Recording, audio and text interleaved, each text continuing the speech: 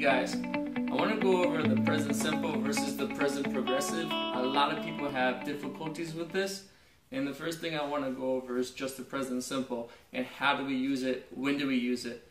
So we use the present simple when we're talking about a general truth, a fact, a permanent situation, or even a timetable.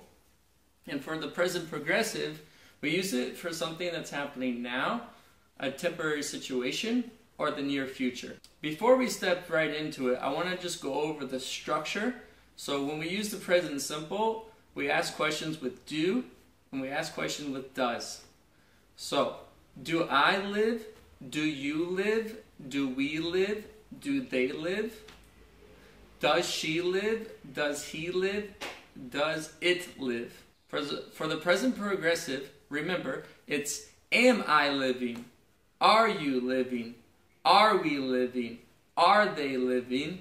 Is she living? Is he living? And is it living? That's the structure, okay? When we use the present simple and we use the present progressive. Remember, this doesn't have any ing. This does, but you have to put in am, is, and are. And for here, there's no am, is, and are. It's just do and does with the verb, and the verb stays the same. It doesn't change. It's in that base form. Now we're going to talk about the present simple and the form.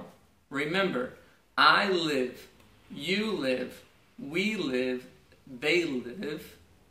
Let's get to the complicated part. She lives. He lives.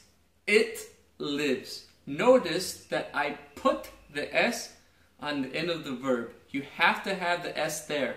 The S is always there for when something is singular. For the present progressive, we're going to say it like this. I am living, you are living, we are living, they are living, she is living, he is living, it is living.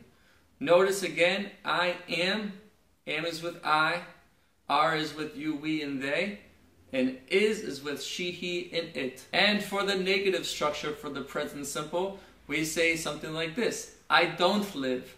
You don't live. We don't live. They don't live.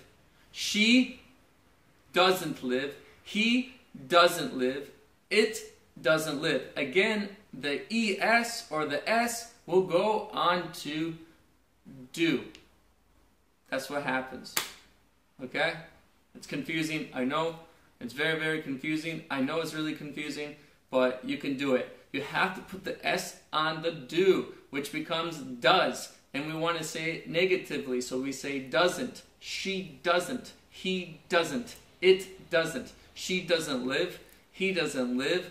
It doesn't live. Moving on to the present progressive, I am not living in Tel Aviv.